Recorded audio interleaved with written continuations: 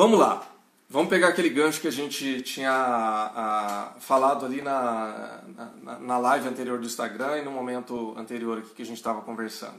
Né? E pegando até o comentário da Carol, deixa eu puxar de novo o comentário dela aqui. Vamos pensar em como o nosso trabalho colabora para o cultivo da nossa sociedade. Pessoal, vamos lá, pegando esse gancho. Como é que o seu trabalho colabora para o cultivo da sociedade. Como é que o seu trabalho, eu quero que você pense no seu trabalho agora. Como é que a sua atividade, seja ela profissional remunerada ou não, né, porque o trabalho não remunerado também é trabalho. Se você cuida da casa, não é remunerado, mas é trabalho. Se você cuida dos seus filhos, isso é trabalho. Se você é, tem ministério na igreja, não é remunerado, mas é trabalho. Se você tem a uma atividade social que você desenvolve, cuida, ajuda uma ONG, ajuda uma instituição social, isso também é trabalho. Tá? Se você trabalha numa fábrica, aí sim, remunerado, se você é professor, professora, se você é palestrante, se você é terapeuta, se você é médico, se você é advogado, ah, construtor, funcionário público, é, não importa qual seja a sua atividade, né? você tem uma atividade como é que isso colabora para a construção da sociedade e, mais ainda, como é que isso forma cultura.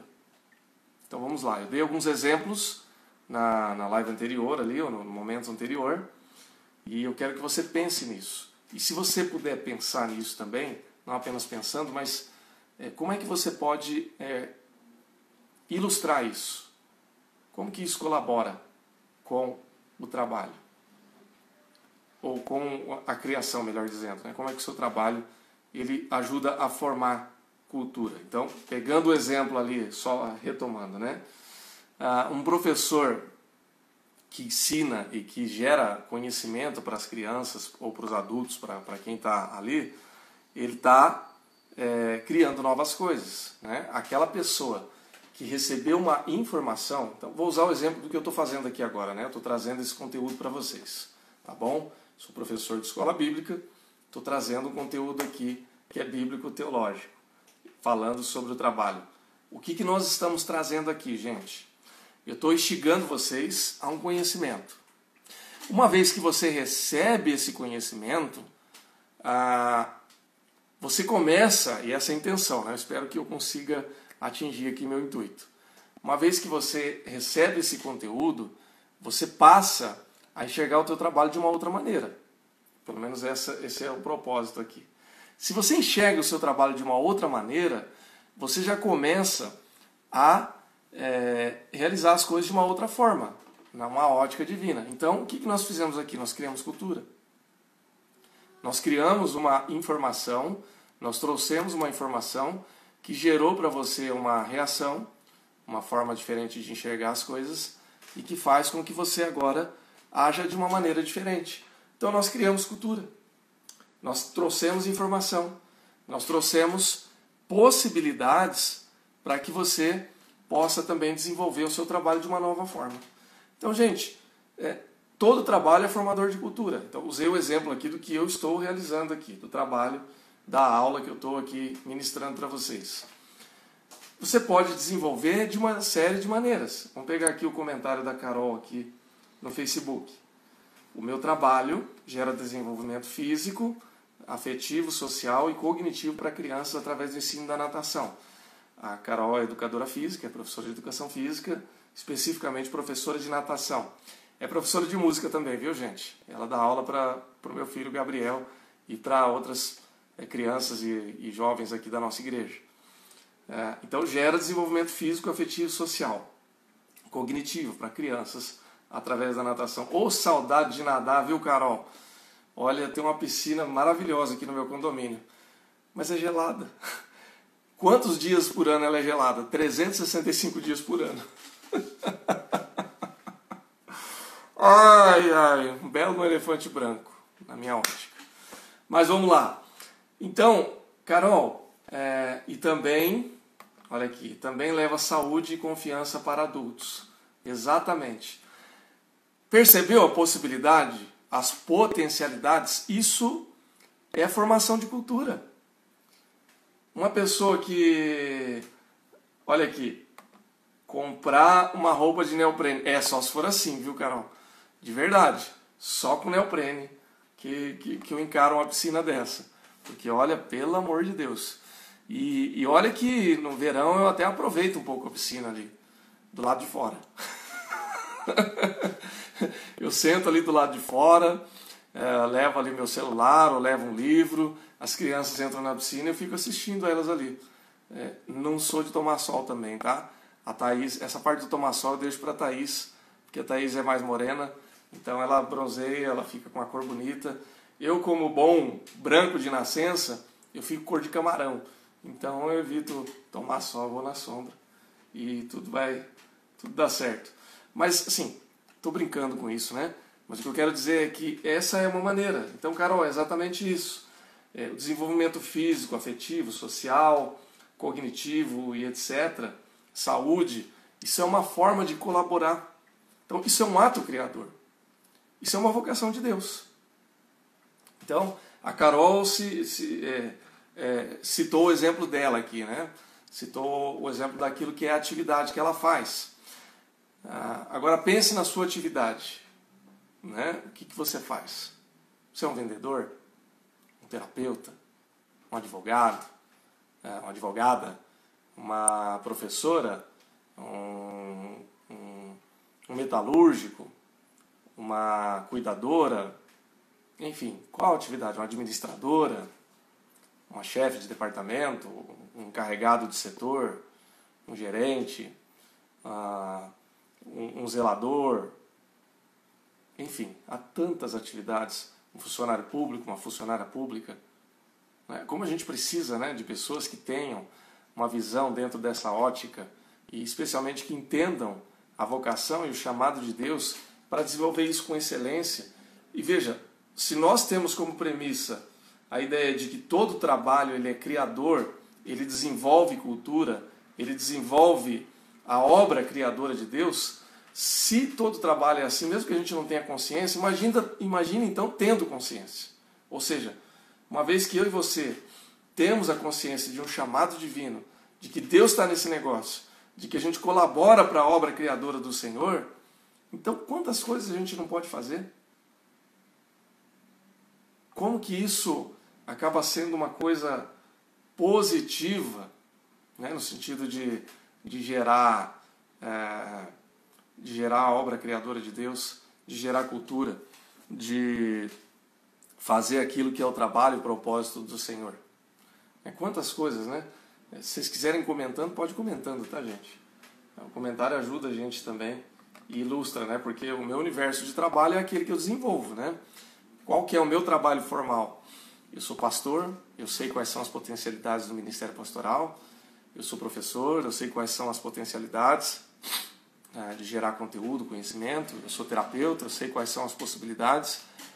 Eu já fui metalúrgico, eu já trabalhei em fábrica, eu já trabalhei com vendas, é, eu já trabalhei no correio, né, pouquinho tempo, mas eu já trabalhei também. É, então, assim, eu sei quais são as, as potencialidades da área ou das áreas em que eu atuei, mas eu quero que você faça uma reflexão nas áreas em que você atua.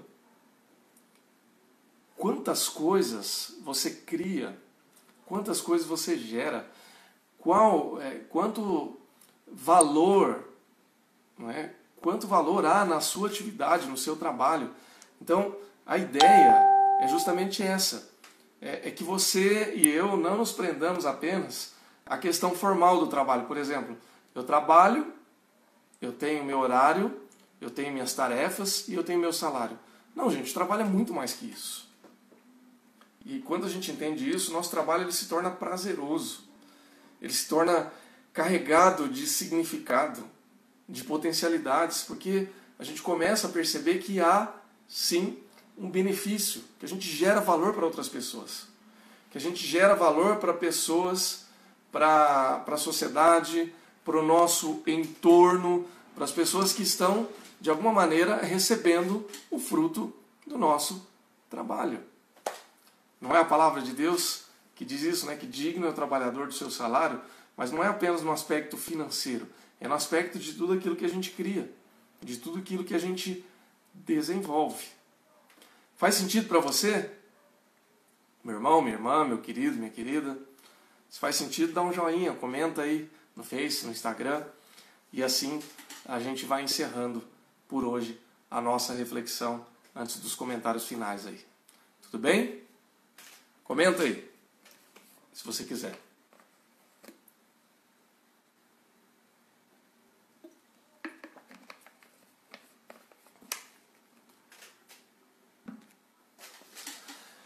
Ok, gente? Faz sentido?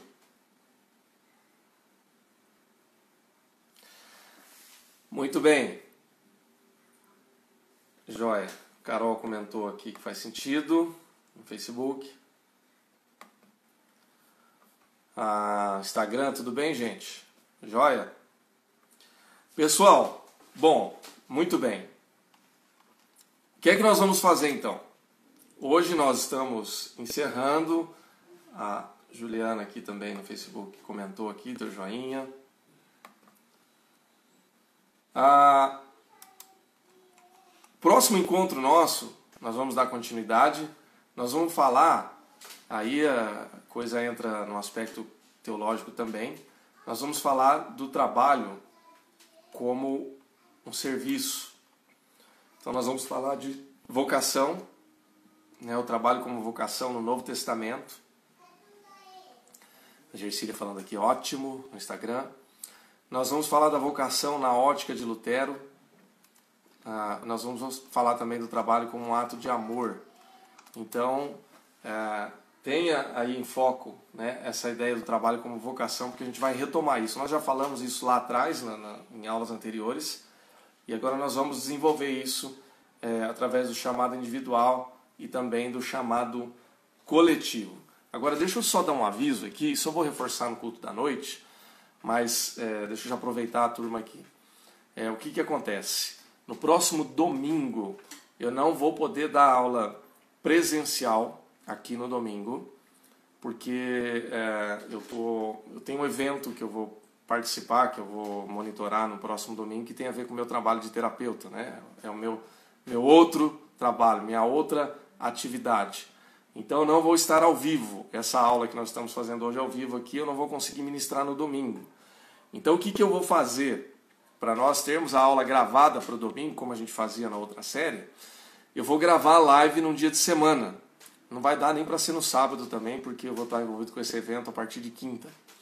Então provavelmente eu vou fazer uma live ou na quarta-feira, ou até antes, Tá? Qual horário? Pessoal, não defini ainda, tá? Então o que, que eu vou fazer? Eu vou definir o horário e o dia, vou comunicar aqui no Instagram, vou comunicar também no Facebook e vou comunicar no nosso grupo do WhatsApp da igreja para que todos, ou pelo menos para que a maior parte das pessoas tenham é, ciência de qual horário vai ser gravado. Tá? Por que, que eu vou avisar? Porque se você quiser interagir comigo ao vivo aqui, eu vou gravar no Instagram. Então você, é legal, se você puder, eu vou gostar muito. Porque ajuda também na dinâmica aqui da, da aula. A gente faz o comentário aqui no Instagram e funciona muito bem. E depois essa aula vai ficar gravada, o Marcos vai editar pra gente e vai, é, vai postar no Facebook no domingo, é, no próximo domingo, nesse mesmo horário, às nove e meia da manhã, tá ok? É só essa aula, tá gente? Depois no outro domingo a gente volta a fazer ao vivo como nós estamos fazendo aqui normalmente, tá bom? Ah, mas é importante que a gente tenha aula. Como eu não vou estar ao vivo no domingo, então a gente deixa gravado e eu faço a gravação durante a semana, tá bom? Então, é, intervalo entre uma e outra live ao vivo aí vai ser mais curto. É, live ao vivo sou bem, bem redundante, né? Mas é assim que nós vamos fazer, tá bom? Então só estou dando esse aviso, esse alerta é, para você não estranhar se domingo que vem ela aparecer gravado e aí eu não estiver respondendo é, em loco. Tá bom, gente? Ok? Ah, foi muito legal o nosso encontro de hoje. Nós estamos encerrando, portanto, essa live. Eu quero orar antes de encerrar E se você tiver alguma dúvida ou quiser fazer algum comentário depois, me manda mensagem aí e a gente vai batendo um papo. Tá joia? Vamos orar? Te agradecemos, Senhor Deus, pela aula, pelo tempo precioso que nós tivemos aqui hoje e pedimos em nome de Jesus que o Senhor continue a nos abençoar, a usar, Senhor Deus, a força do nosso trabalho, das nossas mãos, com a nossa capacidade, com o nosso envolvimento, com a nossa experiência, com tudo aquilo que o Senhor tem dado nas nossas mãos. Que nós possamos continuar a desenvolver o trabalho com excelência e que tudo seja feito para também é, cultivar a tua criação e formar cultura de acordo com a tua vontade, de acordo com o mandado cultural que o Senhor tem para nós.